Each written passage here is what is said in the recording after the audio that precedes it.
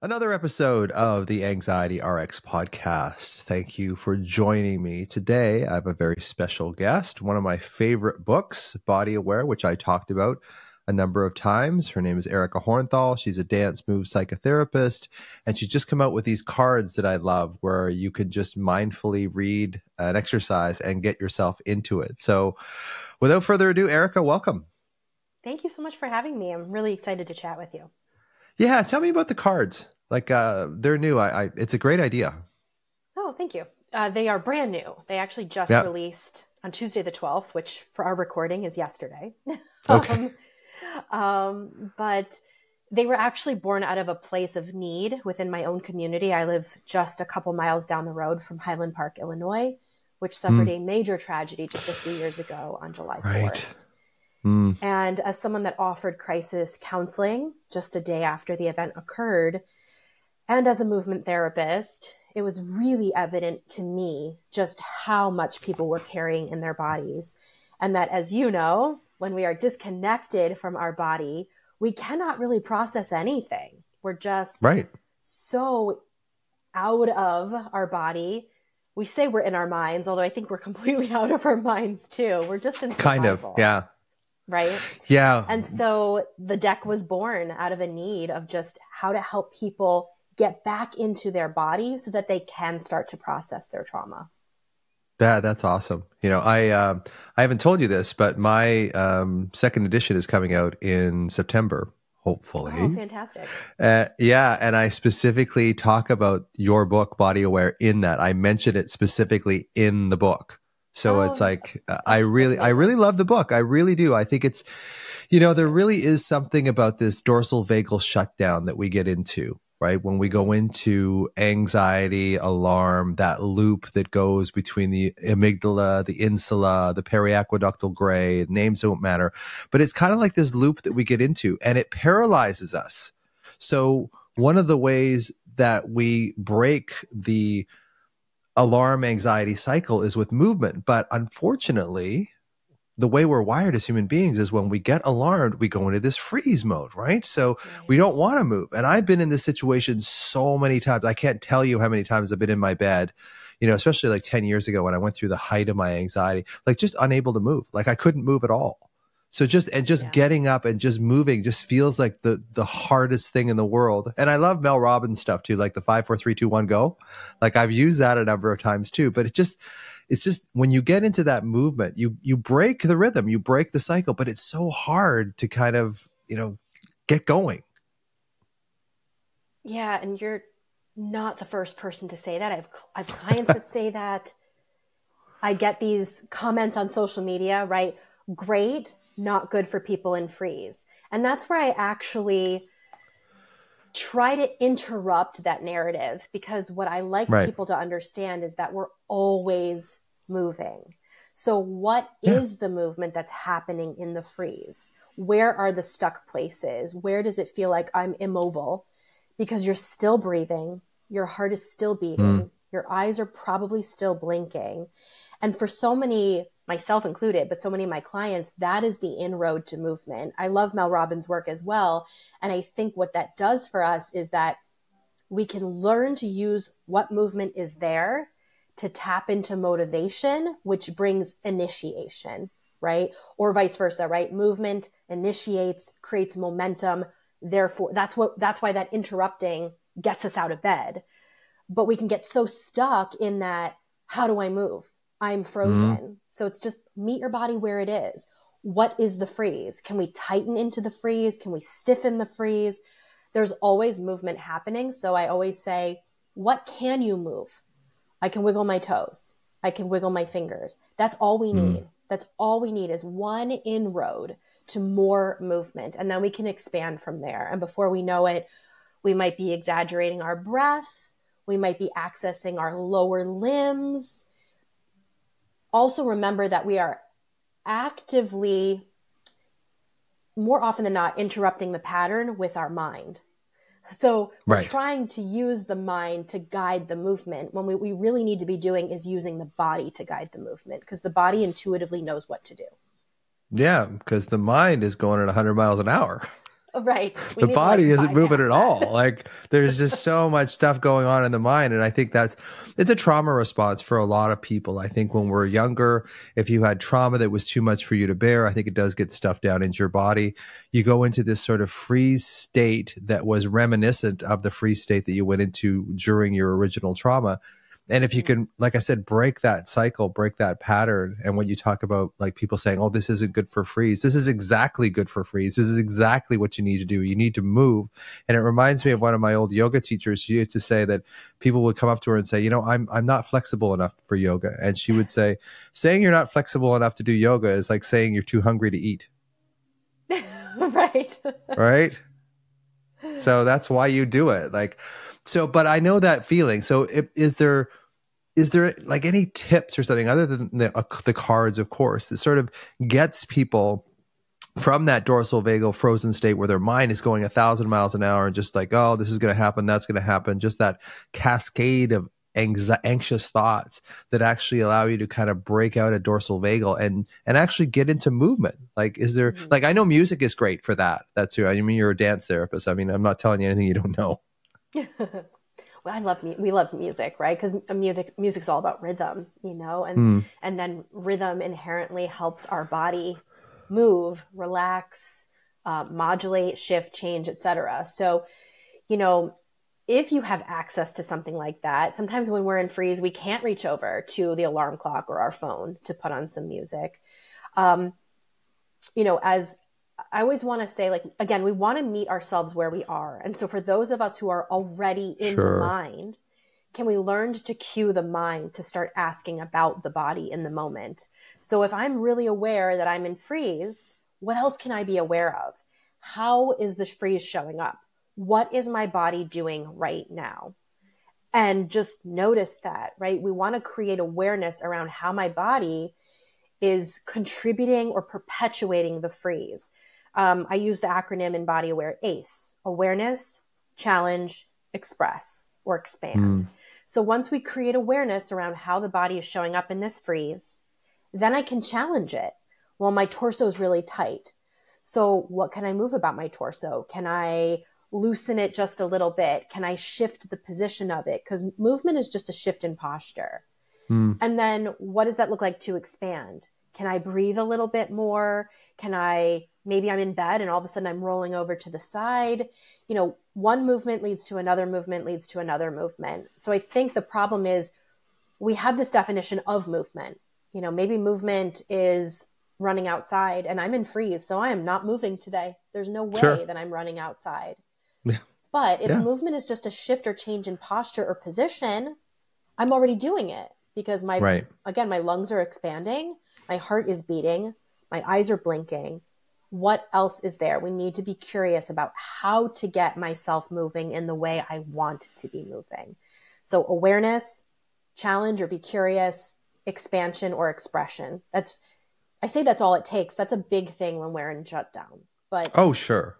It is yeah. possible. We don't have to just wait for it to lift. We can actively participate in the thawing process.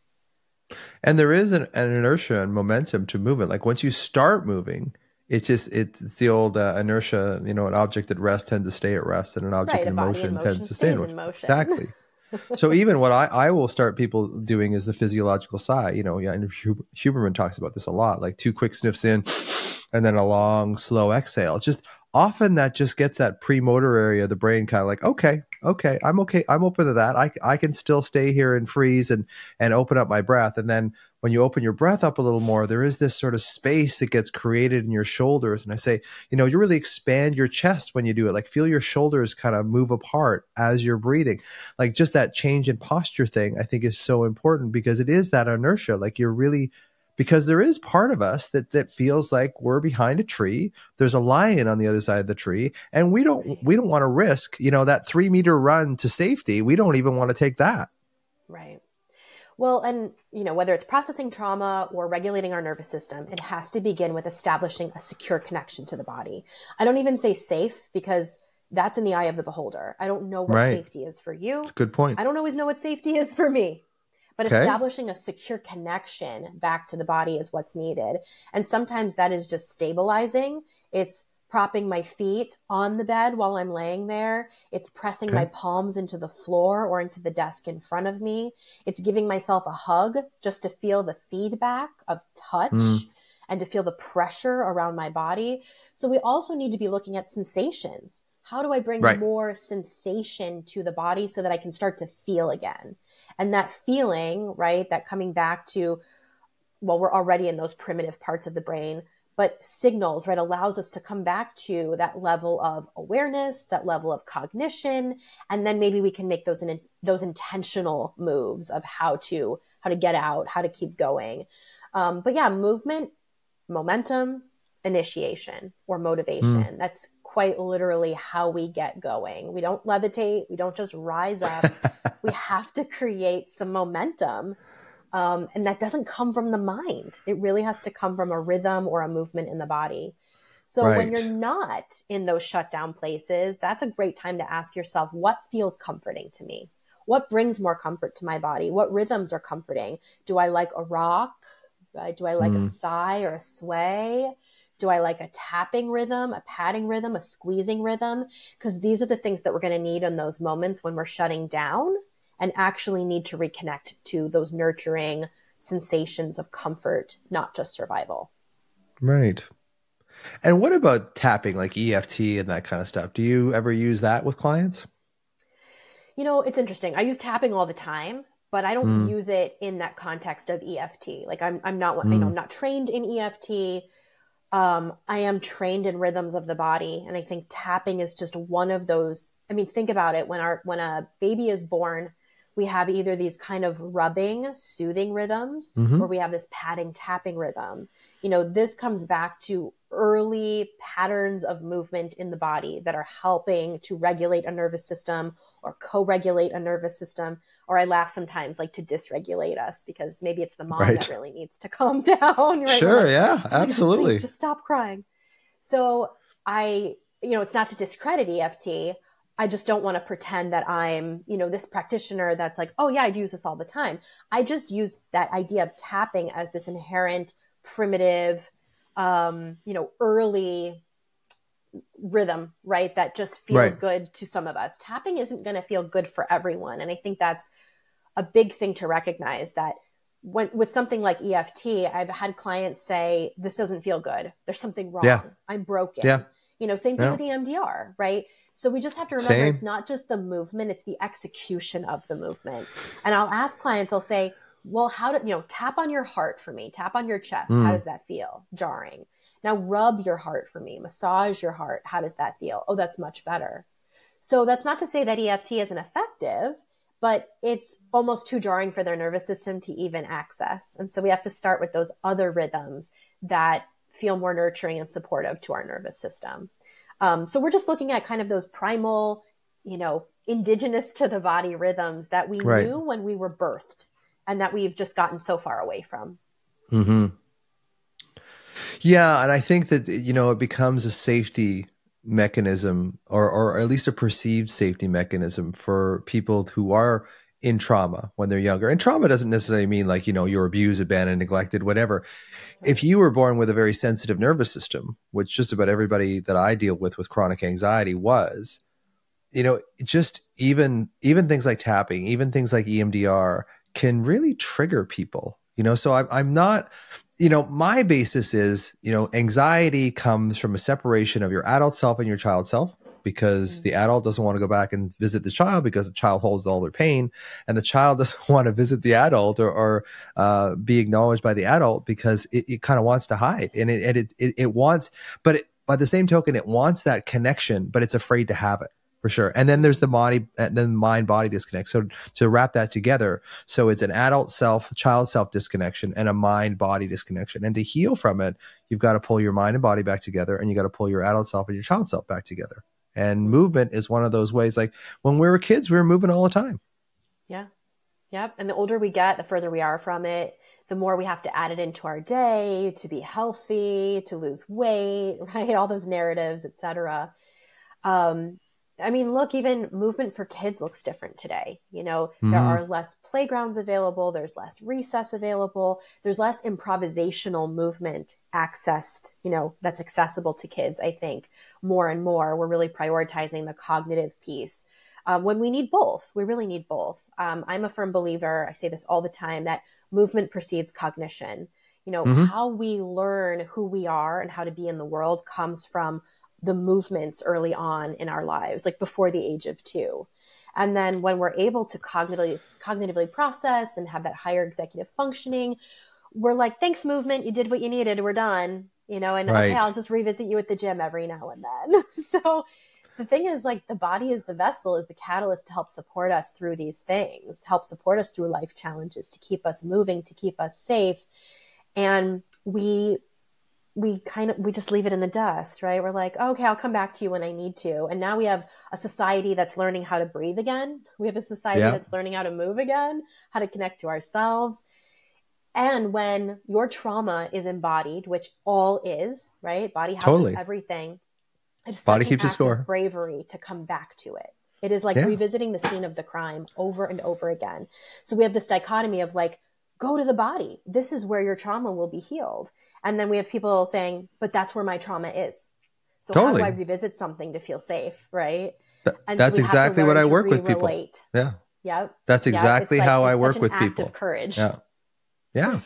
Because you know the thing is, you know, I believe that that that source of trauma is held in your body. You can find it if you look for it. Most people are so stuck in their heads they don't even they don't even look for the trauma in their body. You know, I say when you get upset, when you get anxious, when you get worried, you know, don't stay in your head because you're never going to find, you're not going to find peanut butter in a hardware store. Like go into your body, find it, like look, look for it in your body because that's where you'll find it. And that, that representation of alarm in your body, whether it be your throat, your heart, your solar plexus, your gut, whatever, that is a function of your younger self. That is a function of the child in you. And if you connect with that sensation and really dive into it and, and, mm-hmm. you know, does it have a color? Does it have a shape? Is it deep? Is it superficial? Is it hard or is it soft? Is it hot? Is it cold? Like all this stuff allows you to kind of access, access that younger version of you where the trauma is stored in the first place. So that's that's my that's kind of my therapeutic approach.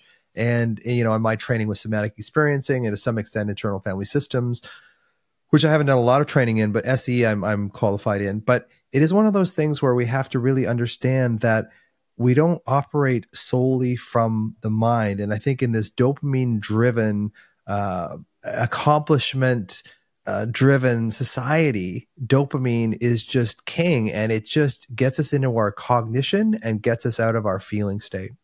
Mm.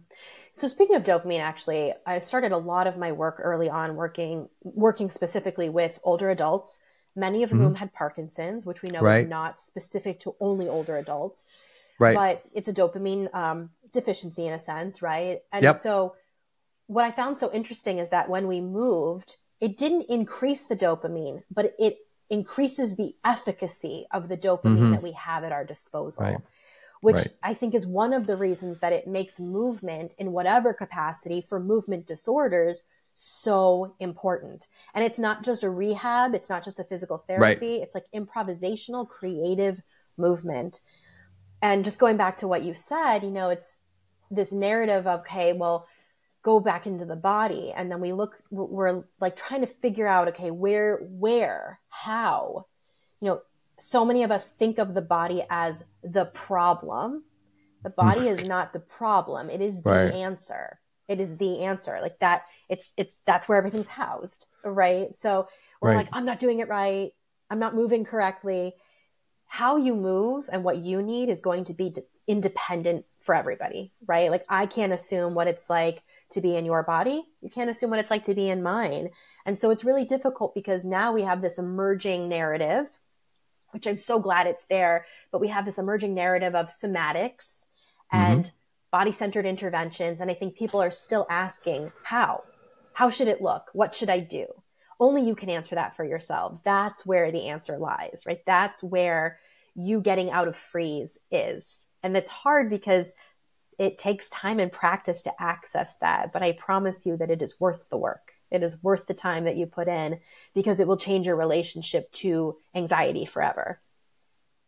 Yeah, we're such a thought driven society, you know, and as we get older, we lose a lot of that movement. You know, it just it just naturally occurs. We get busier and busier and busier and and movement kind of gets pushed away farther and farther and farther. So we we sort of worship the mind in the society and we get away from the body and we get away from this this sort of grounded state. And one of the things i'll say all the time is that your mind will lie to you constantly but your oh, body yeah. never can. It can't right.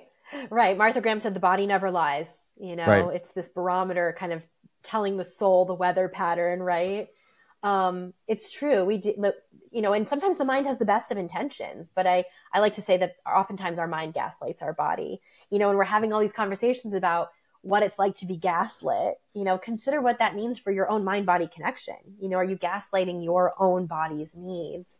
And how do we just get more in touch with that? How do we learn to relinquish the mind, which, as you were talking, also makes me think of self. How many of us okay. identify the self in the mind? You know, and that if I'm yes. out of my mind, I lose touch with myself. But right. the self is housed in the body, right? Which includes brain, but not everybody feels their mind is in the body. Sometimes it feels like it's external. Sometimes it feels it's kind of like mm-hmm. floating outside of our head. There's no one piece in our brain that is the mind specifically. And so I think that's a good reminder is like, if we want to get back to self, right? Maté talks about trauma being a split of the self. Right. The fastest way into the self is through movement and body where the self is housed. But as we get older, we're so far from our authentic self and so much closer to what we think we should be, what we're told we should be, how we should act, how we should behave. We don't even know what it feels like to be ourselves anymore. So yeah. wh- how would I access that, you know, through the mind? Because that's where myself is. yeah. You know, I, one of the things I write about in the book is, like I said, if you were just a brain, you know, and you were being fed cerebral, you know, cerebrospinal fluid and, and oxygen and glucose through some blood, you know, things that you've made, would you feel anything? because I've been in neurosurgery. I've assisted in neurosurgery before where we cut right into the brain. The brain has no pain fibers in and of itself. Right. Right. We can get, yeah. we have to anesthetize the scalp and the skull.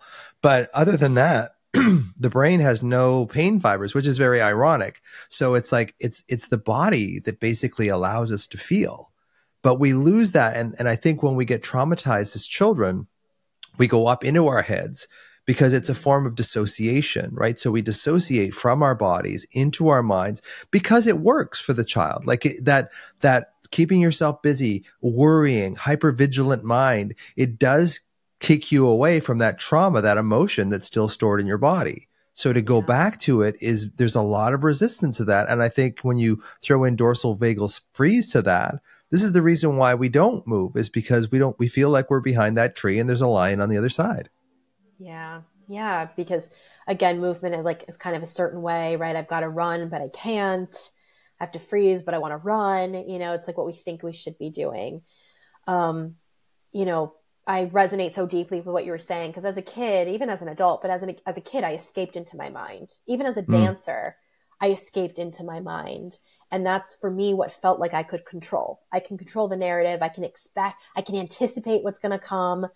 That I couldn't find that in my body. My body was just feeling the anxiety, right? And that was really uncomfortable. Either I feel sick because of it, or jittery, just unsettled to say the least. And so escaping into my mind didn't come with sensation. It just came with a sense of control.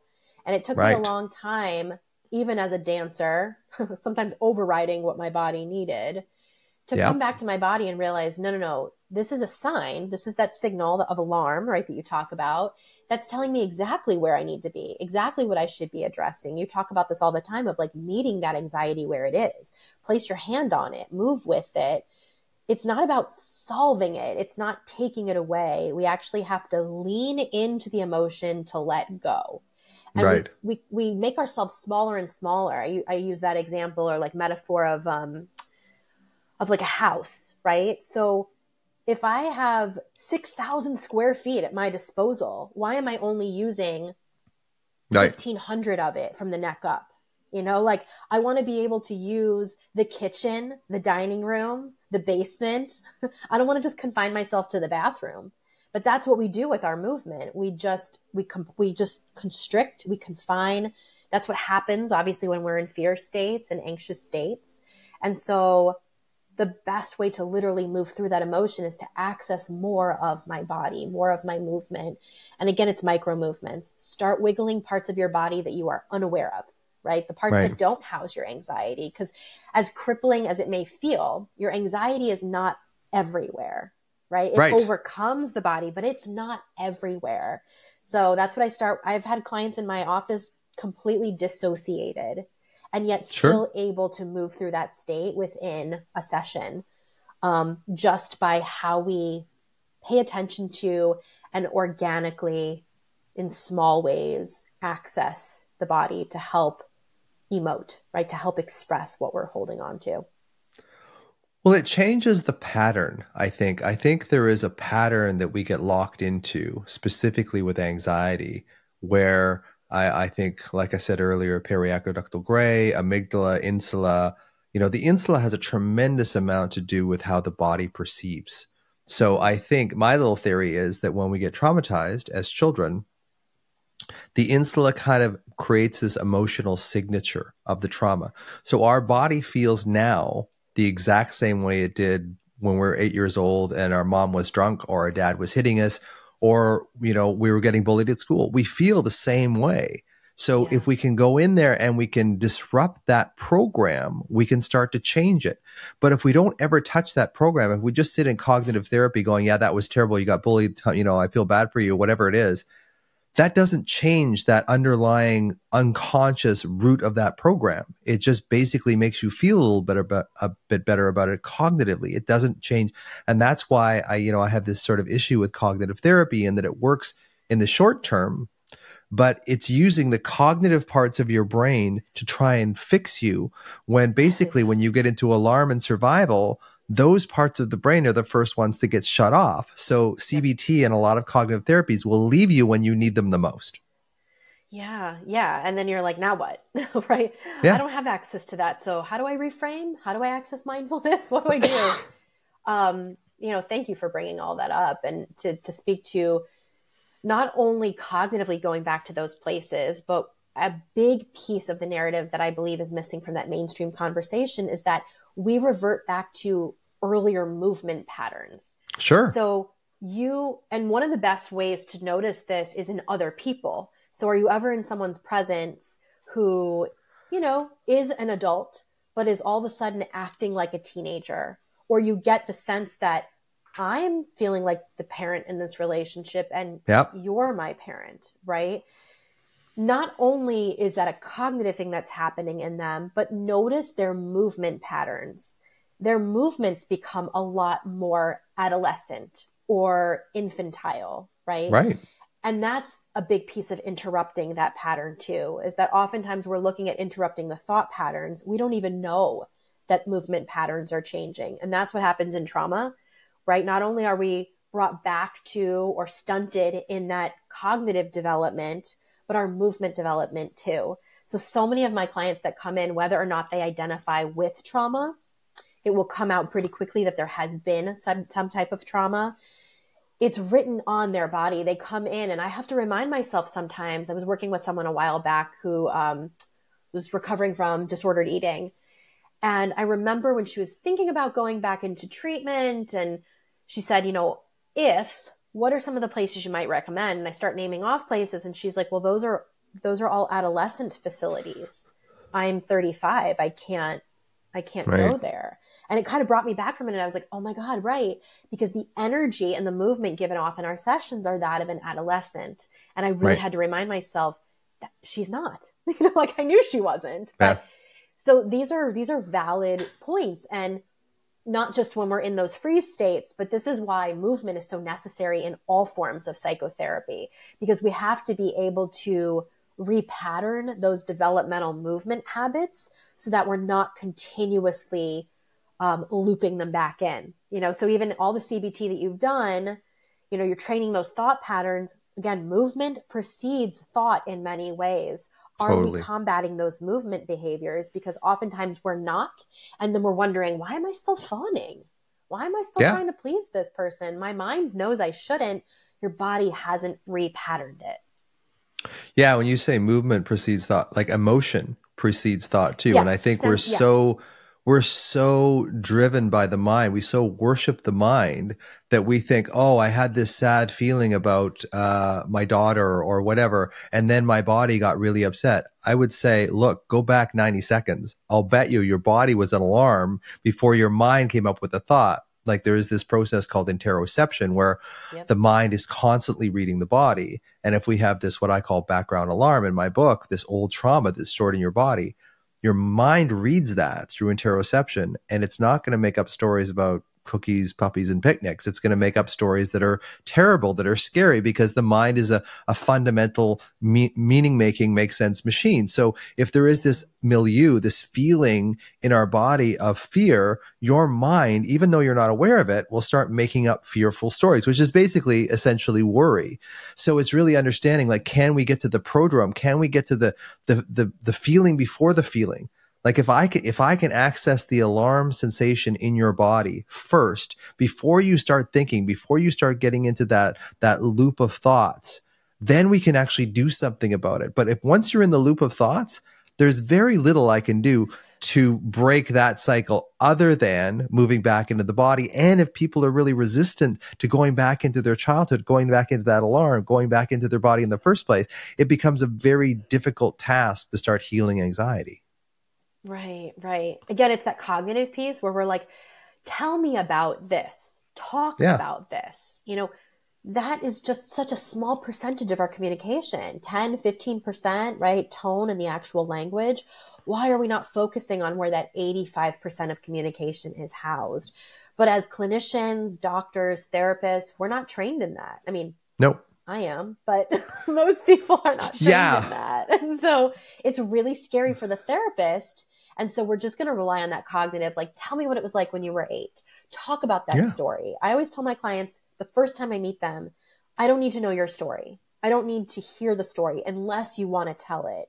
Right. The body will tell the story for you. And sometimes in the most unopportune times. You know, hey, Sure. we were just talking about what I had for lunch, and all of a sudden, you know, I'm back in eighth grade in the lunchroom and frozen. You know, what's Totally. going on here? It's just, we never really know. We tap into that and then create awareness around those experiences. So it's, yeah, I just, I see that the, the hardship, right, is like psychotherapy really wants to go to this place of relying on, more on the body and somatics. And that almost goes against so much of what we've come to believe as evidence based, even though all of the evidence is there. You know, there's Well, there's there's yeah. qualitative and quantitative research happening in our bodies, but it's really hard to explain. It's hard to research all of that. It's hard to sell it to insurance, you know, and so we still really want to hold on to that cognitive piece. And yet psychotherapy was born out of mind, body, spirit.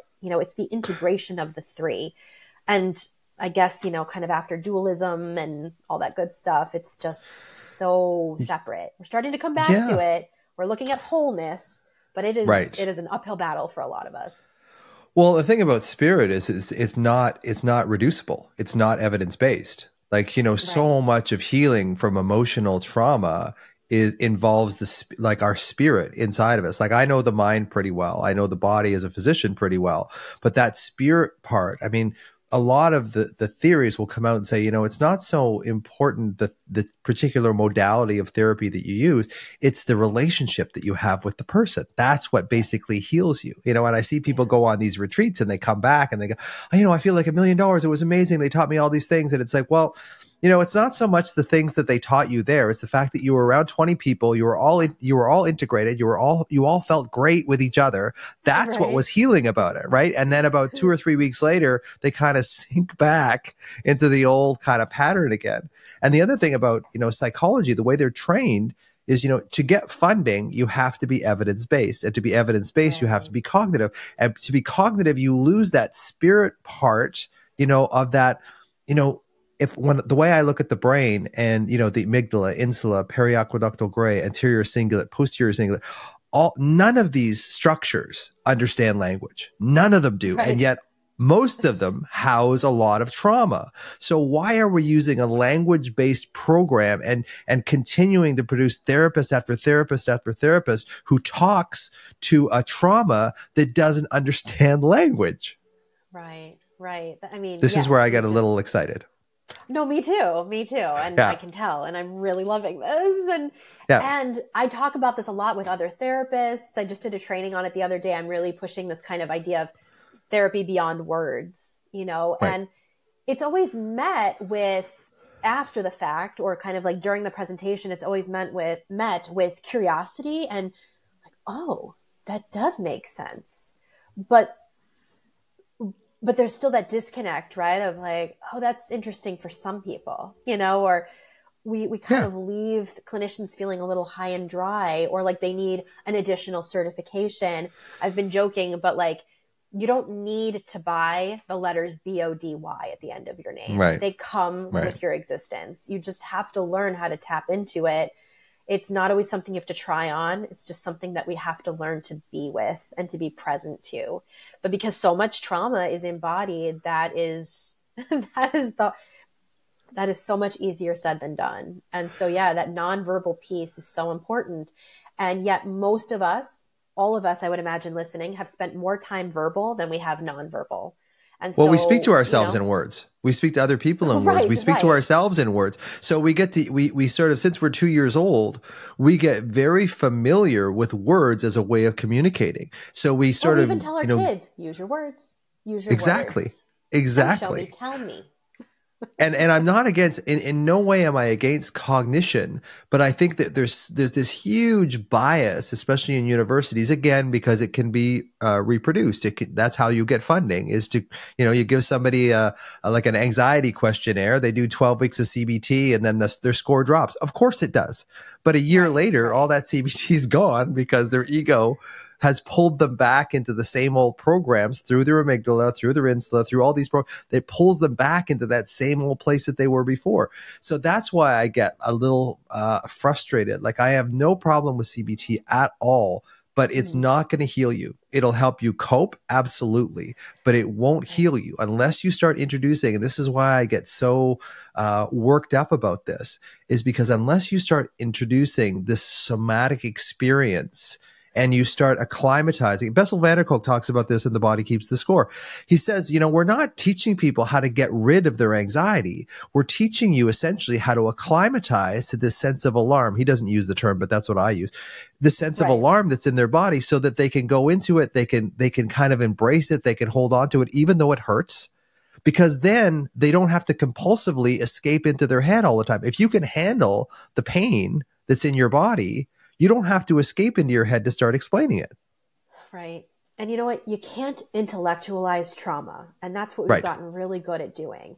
And, yeah. and, um, the experts are meant to intellectualize it, right? Like that's why they write about it and we read about right. it and we, we watch them present on it. And it makes sense when we're not traumatized. But when we are traumatized and our body is in those fight, flight, freeze, or fawn patterns, we can't intellectualize our way out of the experience. You know, I say this all the time. We have to but we try our way in to think yeah. our way out. Right. We try. Right. We try yeah. so hard. oh, I'll just try this time. Oh, I'll think this thought. No, no, no. You have to quite literally feel your way in to think your way out. That's how you let go of, of emotions. You don't let them yeah. go. You let them in. No. Yeah.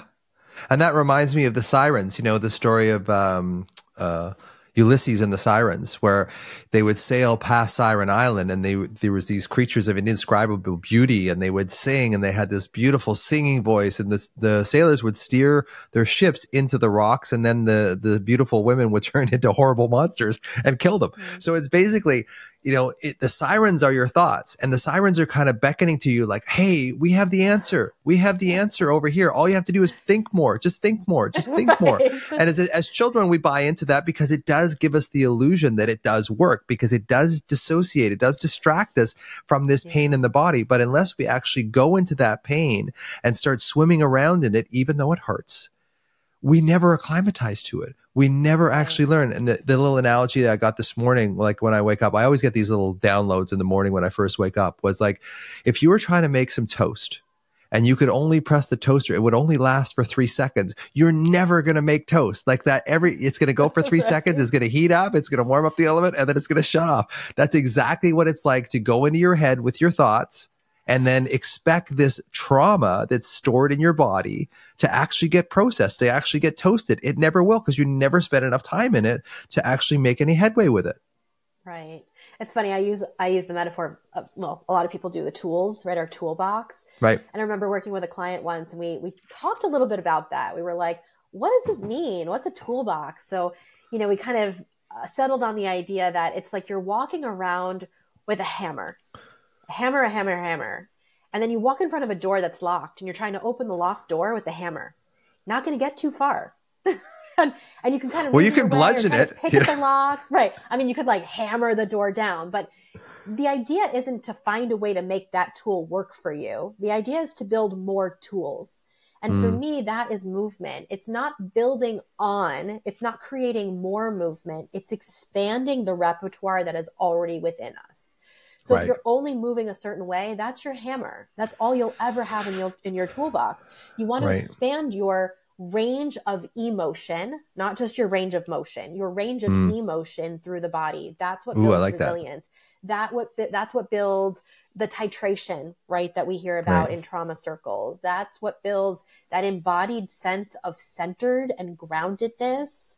And that can be how far I can reach my arms out. I remember working with my very first client who came from a lot of background of trauma physically she was completely able-bodied and i remember when sitting across from her asking her to do some simple movement assessments she could barely extend her arms beyond her shoulders and hmm. then mm. year you know months weeks months a year goes by her moon her sorry range of emotion had changed so much that asking her to do those same assessments her arms reached to both walls of her apartment mm. which is where we were doing our sessions so you know, no amount of physical therapy or gym going is necessarily going to give you that.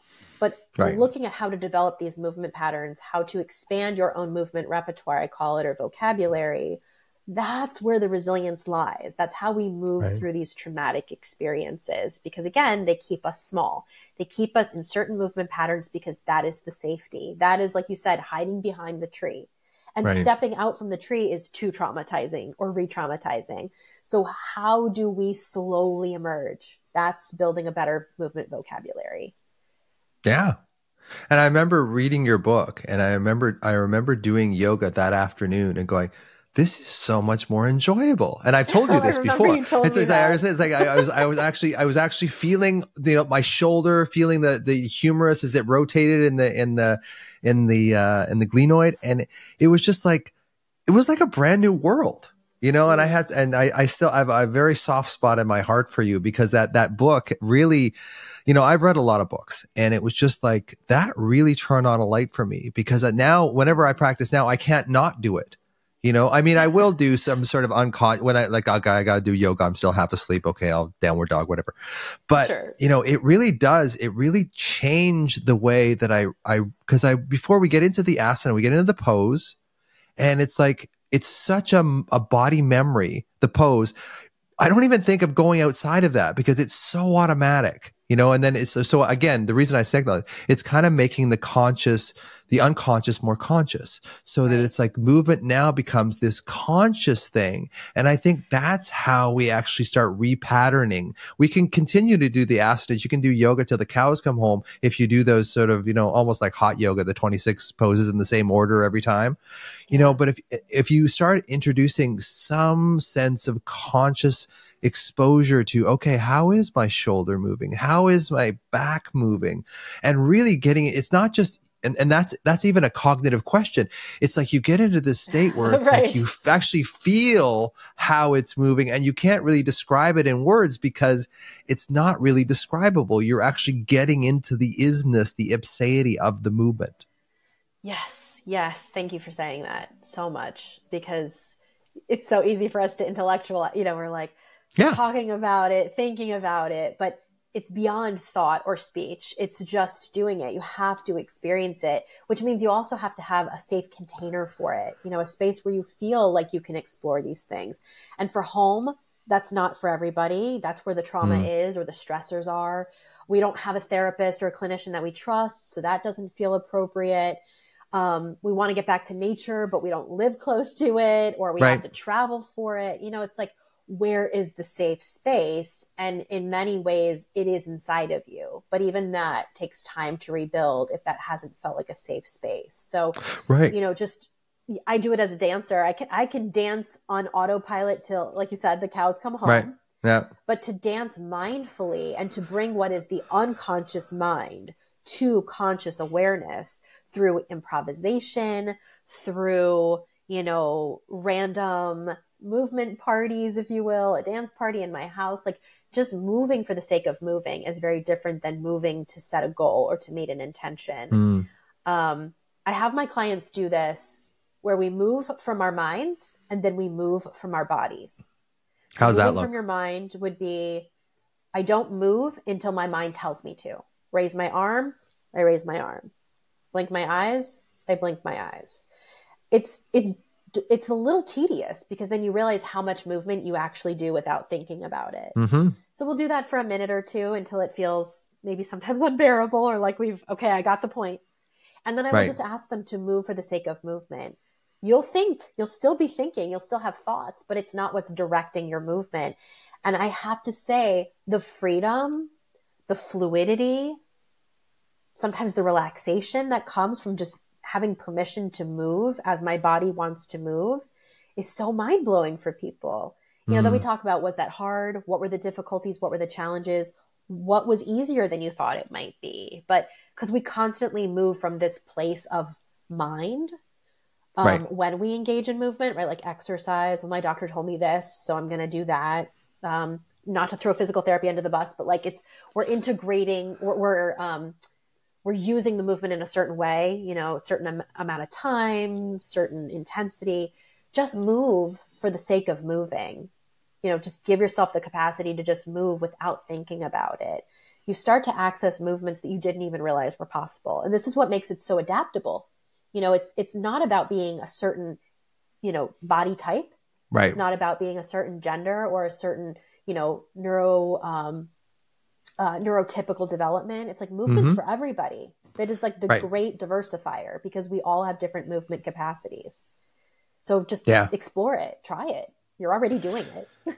yeah. I mean, I, I, I often tell people like you got to get out of your head right? And it's right. uncomfortable. It's that's uncomfortable for people because they've been spending decades in their head because that's been their dissociative. I have this little uh, acronym I call MADD, which is like used to be Mothers Against Drug Drivers, but I medications, addictions, uh, distractions, and dissociation. That's basically mm-hmm. what happens to us, right? So one of the things that that movement and conscious movement brings us back into is this place, like, oh, okay. And my big thing is it's going to hurt. The alarm in your system is going to hurt. There's no way around it. So you need somebody, maybe a therapist, maybe someone, maybe your partner, whatever, someone who can support you in that movement towards going what to what hurts and just uh, right. you know you don't have to sit like uh, there's a lot of stuff out there now on on like Instagram like uh, you have to sit in your pain and let it metabolize and stuff like that. On some level yeah you do but you don't have to sit in there for like 5 10 15 minutes. You don't have to be in agony. You can you can be in that pain for 30 seconds and then go into a place that maybe feels better? Is there a movement that makes you feel safer? Is there, you know, raising your hands above your head, putting your hands on your chest, tapping, whatever it is? Is there this movement that allows you to kind of go into that trauma? and go to the because what you said earlier is like when we feel traumatized when we go back into the old trauma it feels like all of us because when we were a child it was all of us there was no way out. But now that you're an adult, there is a way out. And I'll tell you what the way not the way out is, is, is dorsal vagal shutdown. It's like freezing. right. Like that's not the way out. But the other, like when you're faced with freeze or you're faced with going into your, your old pain, your old alarm, a lot of people will pick freeze because we will do anything not to go revisit that child and their pain. Right. Well, to speak to what you're talking about, it's like, it's pain either way you know, I know. It's like choose your pain. well, yeah, I know. Pick you your pain. Yeah. You know, it's like yeah. right. It's like, oh, going into my body is going to be really painful. It's going to be really uncomfortable.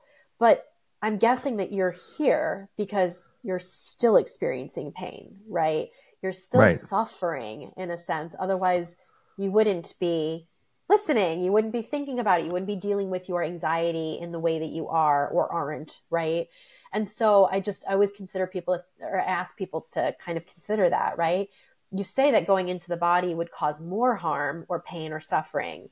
Are you not suffering already? You know, and so Yep. not that we want to minimize that, but actively bringing in um, awareness, right, to something, even if it's uncomfortable or or painful in a sense, in Yep. the short term, can create such long term gains that you could actually, in a sense, be quote pain free, right? Like not without pain, not without the experience of negative emotions completely, but you can learn how to move through that emotional pain Yeah. instead of getting stuck in it. And that's beyond exercise, right? It's beyond a certain way to move. It's learning how to access and execute movement from within, bringing it out, expressing yourself, all of yourself, right? Because Yeah. it's there. We've just, Yeah. we've, you know, um, muffled it, stifled it, numbed it, minimized it, ignored it, all those good things. Yeah, it kind of reminds me of cold plunges because I've been kind of getting into those a little bit lately. Oh, and Oh, yeah. when you first go into the cold water, it's like, oh my God, this is excruciating. This is horrible. This Right? Oh. is really painful, oh. right? Yeah. You And then there's this, and then after you're in there about 15 seconds, there is this like, oh, okay, all right, no, I can. And then it's like, oh my God, this hurts again. This hurts again. This is terrible. This Yeah. is terrible. Get out, get out, get out. Oh no, okay, all right. So there is this, I think there's this natural painkiller that we have in our brains, endogen, uh, endorphins and kephalins in the periaqueductal gray that gets secreted when we're in pain. So that we will get supported if we go into this trauma. We don't have to make it all of us, but we do need help often like some of the physical emotional sexual abuse things like you need help. You can't you can't process this on your own. Like this need you need help. But in general one of the things that i i appreciate about cold plunges is that when i was a child and my dad was going crazy i had no way out of that. But in cold plunges i'm actually putting myself in the pain and i think there is something that builds a, a resilience and capacity in your nervous system when you say i know this is going to hurt me but i'm going to do it and i'm going to stick with it. I'm going to stay with it. Now this is not to say that you have to stay in your pain for you know hours at a time. You can come out. You can find a place in your body that actually feels comfortable or neutral or safe and then go back and forth. Pendulate is what they call it in, in somatic Yeah. experiencing. And then you start you start processing this pain. But movement is just one of those things that's just a non-negotiable. Like i don't see anybody healing from anxiety who doesn't develop some kind of movement uh, ritual you know? Right, so right. well speaking to the pain factor I, I in my mind i keep the word discomfort keeps coming up you know or sometimes Hmm. it's unfamiliar you know? So right. um, whether people listening are actually identifying as this as pain or it's just discomfort which is not to minimize discomfort 'cause Right. that's can be excruciating too but i think that's where movement can really help because we can also sit in uncomfortable positions i've been sitting this, Mm. with this a lot lately is um, right how often do we compromise our body? You know, like we sit in awkward positions. I was sitting in a position pretty regularly at my desk and for probably other reasons, like ended up developing sciatica, you know, but it felt Wow, it was familiar. I was like, but it's comfortable. It's familiar. Yep. And so consciously sitting in an uncomfortable position doesn't pain, it doesn't hurt. It's just really hard to stay in a position that's better for my body, but so unconditioned. So Mhm. I, I just I just wanted to bring that up too is we are lacking the ability to sit in discomfort, you know, as as a Yeah. society. We just we want what we want when we want it. Instant gratification has led us to think that everything is a crisis if we don't get it right away. Yep. And we're uncomfortable. And there's ways to just titrate discomfort in your body, sit in a compromising position, cross your arms or legs the opposite way, brush your teeth with the uh, you know your non-dominant hand. These are uncomfortable, unfamiliar movements, and the more you do them, the more adapted your body gets to being in what feels like a an uncomfortable um, yeah situation, if you will, right? Uncomfortable movement, and and that creates more room for that pendulation, right? Creates more more room to build that window of tolerance. Like movement, it doesn't it doesn't get you back into your window of tolerance, it expands it. like right. we don't just want to get back into the bubble, we want to actually widen it. And when you increase your movement repertoire, that's what you're doing. Yeah, I haven't told anybody this, but basically what I do every day when I get out of the shower is I dry myself in a different way. That's my oh, little, that's my little brilliant. sort of, yeah. Sometimes I'll start with the side of my leg. Sometimes I'll start with my head. Like I just make this conscious, conscious idea. I'm going to dry myself in a different way each time. So it's a little bit of Dr. Russ I do it there. with driving. I drive a different yeah. way. I mean, I can, yeah. you know, like I live in an area where like you can take a million different routes to get to the okay. same place. Um, my kids will be like, "Where are you going? Why are we going this yeah. way?" My little backseat drivers. I'm like, "Cause we can." because it's unexpected and it, it takes the same amount of time or it takes a few extra minutes, but it keeps me on my toes. It keeps me aware and alert and it's building dur- different neural pathways, just simply mm-hmm. moving in different ways. Yeah. So what tips would you give Erica, my, my audience who mostly deal with anxiety? Like what, what are the tips that you would, as a, as a movement therapist, like what are the things that people can access? Well, you know, it's cliche, as I said earlier, like that awareness, but we're so eager to avoid it that mm. the best thing we can do is actually pay attention to it. So notice where you feel your anxiety. I know that for your audience, this is nothing new.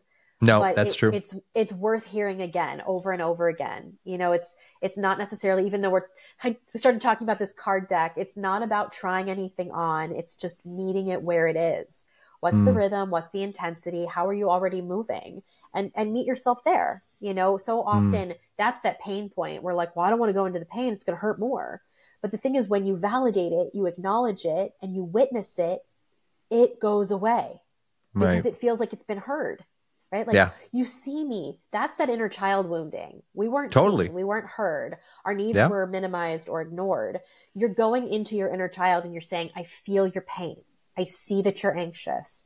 Let me hold you. Let me meet you in that. And so that could be, you know, the tapping rhythm. That can be that right. rocking. You know, maybe it's a sensation and you just you you recognize the sensation, go into it. Again, I can't say this enough that if you want to work through or let go, let go of an emotion, you have to go into it first. Right. It doesn't mean it has to be excruciating. It doesn't have to be any more than what you're already experiencing, which is already debilitating for so many of us. So just listen to it. What, how is that showing up for you? And you can, t- you know, five seconds. Okay. I've got to, okay. I can't do that anymore. Right. Meet it again. Take a break. Meet it again. Take a break. The other thing that I like to do also is like when we're feeling anxious, as an example, we're also feeling unsupported. And so I tell my mm. clients, um, find the nearest place of support. Like I use a wall and either push your hands into that wall or press your back up against that wall. Like feel the pressure, feel the support. Externally, it will signal that internal support, oftentimes lowering those cortisol levels, regulating our heartbeat, allowing us to just drop into the body and breathe. Um, then we can start to practice more of a mindful breath, signaling that parasympathetic nervous system. But use your environment, use things in your environment, the support that you're lacking, put it back inside of you, find it. Mm. So, so yeah, move what you're already experiencing, meet it head on. I just not head on, move it, meet meet yeah, body. No, on. I get it. No, then, you're speaking you know, my language. Support. Yeah. You know, you're speaking my language, baby. in front of you it's not yep. a bracing. I don't want people to think that they're no. like holding, right? I'm not yeah. asking you to brace yourself. I'm asking you yeah. to push. Feel yeah. the feedback. Push away or into that anxiety. Those are two really I for a lot of people big game changers cuz if you're freezing, you're not doing any of those things. No, right? you're you're, running, stuck. You're not stable enough to do either one of those things. Um, yeah, you're stuck. so yeah, mentors' favorite uh, coaches, somatic practitioners, dance movement therapists, actually. Uh, Kay Kathlyn Hendricks, um, she and her husband, Gay Hendricks, run the Hendricks Institute. Oh, okay. She talks about these fear the big melters. leap. Yeah, the big leap. Yeah. yeah the big leap yeah. here. um, yeah. She talks about these fear melters, you know, and that we can meet very small micro movements in the body to help us melt out of fight, flight, freeze, mm. or fawn. So right. if we are um, frozen, you know, that we can actually you know, wiggle, right? We can root ourselves if we're ready to flee, you know, just feel that grounded position in our feet. it's yeah, I love all of her stuff, but not many people know she's a dance therapist. So yay. Right. I didn't. Yeah. Yeah. No, I mean you don't have to to understand her brilliance, but uh, yeah. So there are lots of little tangible ways to actually meet our anxieties and our fears instead of running or freezing in their presence. Awesome. So where can people find you, Erica? Um, I love to hang out on Instagram at the therapist Okay. who moves you. Okay. Um, or my website, ericahornthal.com. You know, please email me. My phone number is listed. I love to I love to get messages from people because for me it's it's all about that relationship. It's all about the connection. Nice. Yeah. Yeah. I mean, I think it really is like doing this work, just making that connection because I think so much of, you know, uh, so many of us sort of therapists didn't get this when we were younger. So we're happy to provide it because when you provide it to someone else, you're actually providing it to yourself too. So I share that as well. So, Right. So I'm thanks, like, You Erica. know, what's the Yeah. I, I don't just I don't just talk about this. I do this, right? Like Yes. I'm, I walk the I'm walk, yeah. customer. yes, So- not all. right. Yeah. I try to practice And what I- you preach. And I catch myself in it all the time. I'm like, you're not doing what you tell your clients to do right now. Maybe you should try that. Yeah, but we get locked in our unconscious things too, do, right? So it's just being aware, just getting out of it earlier and earlier. I think that's the trick. I think that's the trick. So your book, Body Aware, is amazing. I love it. I actually mentioned it, Yeah. like I said, in my book, and uh, and yeah, it's been great. It's been great. I mean, I could talk to you forever. So we'll basically cut it off here around the hour mark. And, wonderful. yeah. I'm so glad. Yeah, and we'll talk again soon. Sounds great. Thanks so much. Bye for now, Erica. Mm-hmm. Bye.